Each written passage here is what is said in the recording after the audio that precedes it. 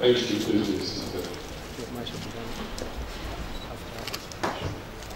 me recognize the chairman of the local government there, Honorable Ikiki Akana, Ziawa, and members of the council. Let me also recognize the chairman of the committee tonight, Professor Ibarra and I recognize the rector of the staff of uh, this institution, also members of the Executive Council, and of course Professor Okata. Let me also acknowledge the uh, of this local government area, who I believe was a great inspiration in the realization of this project. Our royal fathers uh, from this local government and beyond, distinguished invited guests, matriculating students, our wonderful, wonderful parents of this matriculating realization of a vision. Sometimes we have visions that are never realized. Is a vision which I have shared with some of you in the past, and a vision which I had a lot of difficulty convincing even my own staff to believe in. It's always difficult when you want to bring in a new idea. People resist change. And they said, why can't it be like a normal polytechnic? Why can't it be like other institutions? And why do you have to bring Highbury College from outside to run the institution? In some instances, they said, no, it must be a cross-Riverian that must run the institution. In other instances, they said, no, it must be somebody from Yakurr that must run the institution.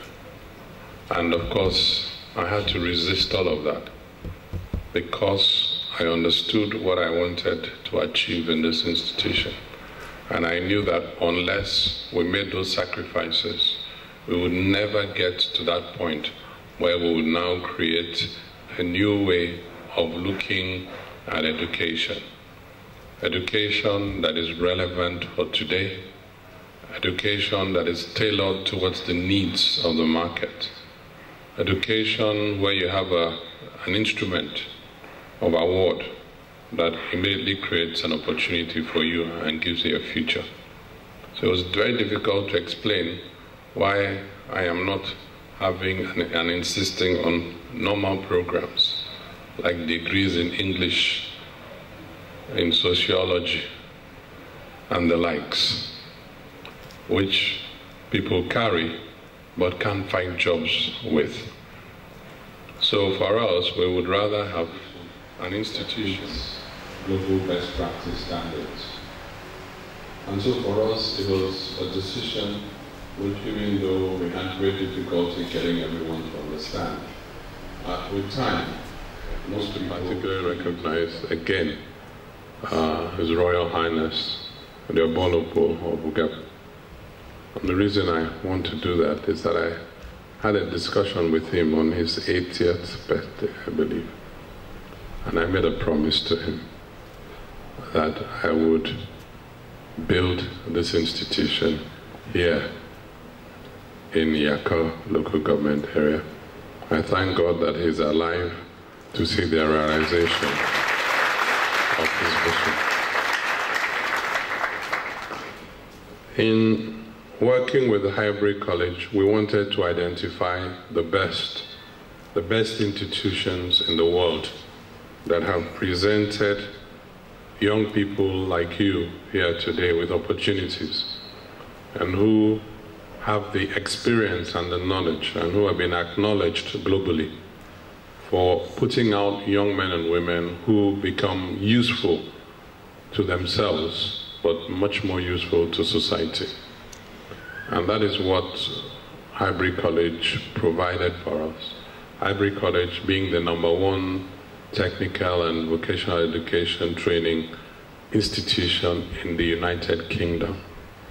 And it was imperative for us to partner with them because the vision was not one that we had a track record in Nigeria or Cross River State of actually realizing. So we needed to bring in those who understood it and who had practiced what we want and had done it very successfully to come in and manage this institution for the first five years.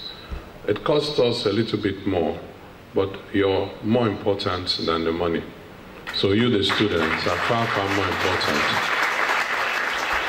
than the money. We're investing not in buildings and in roads and in a beautiful environment, we're investing in you. And that is what is critical for us. As a nation today, I think we need to pay more and more attention to our people, our youth, our teeming youth.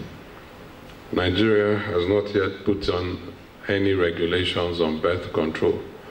So our population is growing exponentially. And of course, our economy continues to face challenges. Now, what do you do about that? Become immediately employable or even employers of labor. We had challenges even conveying this concept to the NBTE as the regulating body for institutions like this. That is the National Board for Technical Education.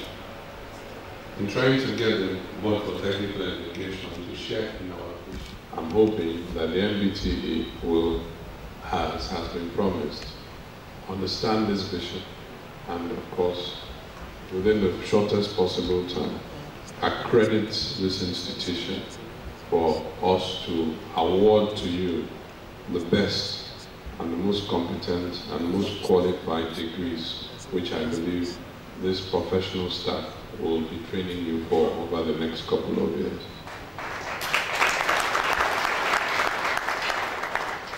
I want to urge that we continue to invest in this institution. You, the pioneer students, are pioneers. You're the first. I remember when I was in secondary school, I went to a school called Federal Government College Enugu. And I was also a pioneer student. And life was good as a pioneer student. And I hope your own life, pioneer students, will be good as pioneer students. The beauty of being a pioneer student is that there's a tendency to look after you. You get the best, you're the first at all times. When the population grows to 500, 1,000 students, uh, you're not going to get the same attention that you're getting now. So enjoy it, enjoy it, and enjoy it.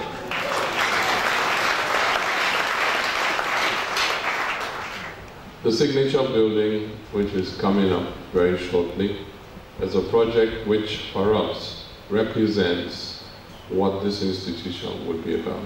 A lot of people have looked at me and wondered as you can see, you have two massive buildings on both sides of the main building, which are what they call the workshops and warehouses, where you're going to be trained in skills that would make you handy immediately.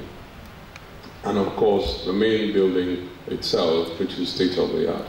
I'm hoping that the parents who are here and other visitors go around the existing classrooms and see the quality of training that is available in this institution. I dare say that you may not find this in some of our universities today, some of the big name universities you find in Nigeria. So for us, that signature building, it's imperative, it must be completed and equipped. I look forward to commissioning it before I leave office as governor.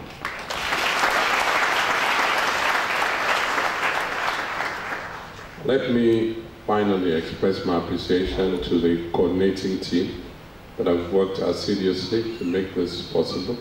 You put in so much, sometimes very difficult, but we've actually gotten to a point where I think we can all express some level of satisfaction. Let me also express my appreciation to the host community. Thank you for your support and appeal two years from now, it will be here.